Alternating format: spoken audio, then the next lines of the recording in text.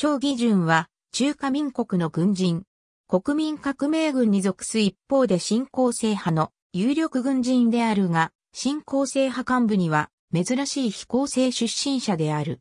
字は安志博。1916年8月に、補定陸軍軍艦学校第三期砲兵科を卒業する。その後、法天派の軍で主に経歴を重ね、1922年冬に復讐鉱山橋兵交渉総弁に任ぜられ、1924年には第24混成旅団長兼第一主体司令に任命された。1925年、市政府軍務長第4所課長兼代理所長となる。その翌年には直令将軍務、ただし弁軍務所長処理を務めた。同年、長義順は国民革命軍に駅死して関東に赴き、第六軍第17市副市長兼団長に任ぜられる。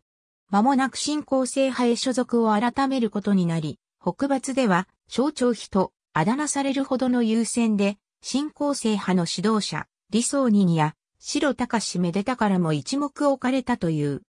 長はこの時の軍港により、第19軍、第2市市長、第18軍副軍長、第13市市長、第56市市長と歴任した。しかし1929年3月からの章、桂戦争で新興制派は敗北し、長義順は失脚に追い込まれてしまう。1932年、長は厚生省に赴いて復職し、第15軍参謀長に任ぜられた。後に、厚生民団幹部学校副校長も務めている。1936年1月に陸軍少将に任ぜられ、同年10月には陸軍中将に昇進した。日中戦争勃発後の1937年10月、長義順は安徽省政府委員兼民政庁長、県軍管区副司令に任命され、同省出身者として新興制派による安徽省統治に関与することになった。長は第48軍軍長にも任ぜられ安徽防衛を主任務とする一方で、武漢防衛戦にも参戦している。1939年11月には第21集団軍副総司令に昇進した。